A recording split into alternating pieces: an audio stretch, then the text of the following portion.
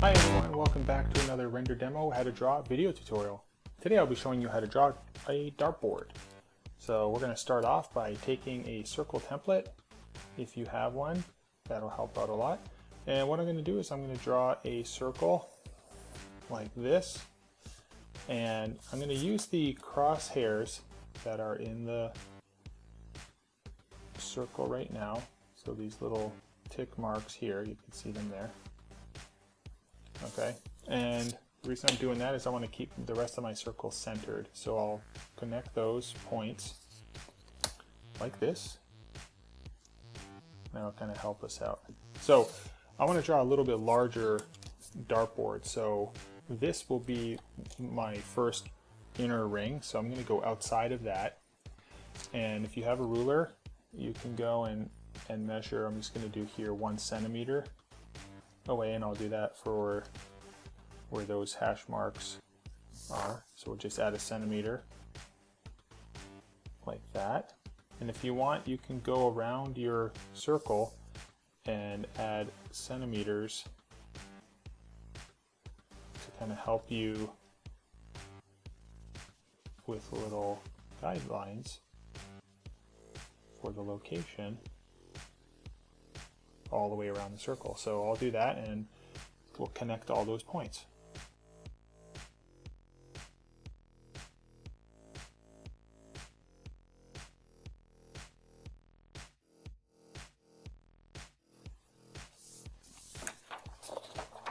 Okay, so that's a good way to put some guidelines to how far far away and you'll get a little bit ac more accurate uh, circle there.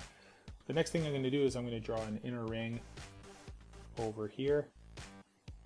And you can do the exact same thing if you want with spacing points, but since this is fairly close, I'm just going to eyeball it and just try to follow the contour of this outer ring as best I can.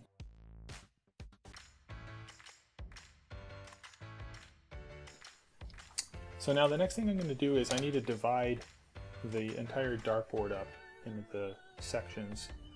So what I'm going to do is I'm going to go right about here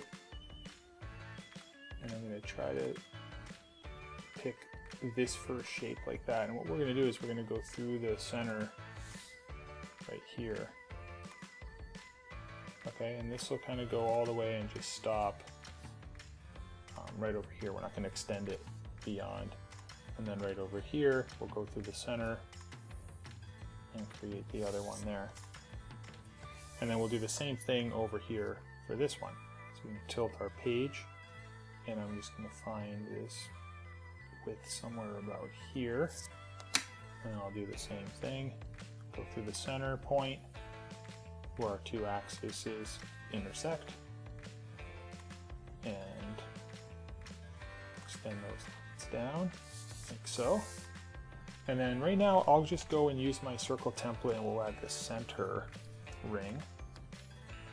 So I'm going to use these these crosshairs here to line up with the crosshairs on my on my stencil. So we'll use this one here and then just move this up a little bit and align all these up and then that'll give me my center. And what I'm going to do is I'm just going to go right into my ink pen just kind of put that in right now so we don't have to do that later. And then I'm going to go down a size and we'll put another ring in right there. Okay. Now we'll add in the bullseye right in the center. So line up your crosshairs. We'll do something like that, and you could even go and put a smaller one for right in the center. And then I'm just gonna fill that in, just like that. Since I'm here, I will go and get that largest circle that I drew with my template. Just like that. Okay, the next step is we want to go from this point here and this point here, and we want to add three additional lines in here. So if you go over from here to here. And if you find the center, so in between this one and this one, let's go ahead and find the center. So roughly about there. And then you can go ahead and add another one from here to here. We'll add another center. And another from here to here. We'll find the center those two. And then what we can do is we'll just go from this line here through the center of our bullseye. And we'll stop right there. Okay, now I'm going to ink all these lines in.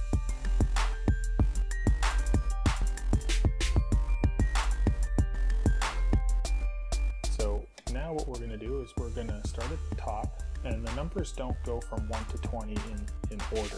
So I'll show you where to place all the numbers. So we'll start at the top and we'll put the number 20 up there and we'll go all the way down to the opposite side and we'll put 3 down at the bottom and we'll go over here on the left and we'll do the number 11 and we'll go all the way over here to the right and we'll put number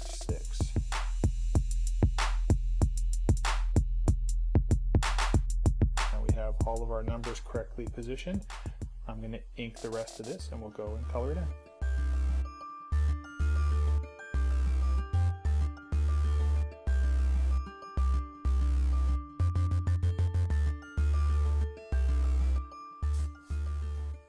Okay, there we go. And then for the coloring, I'm going to use uh, green and a red.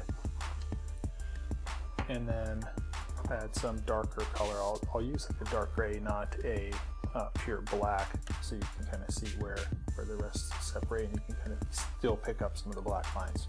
So we'll color this in.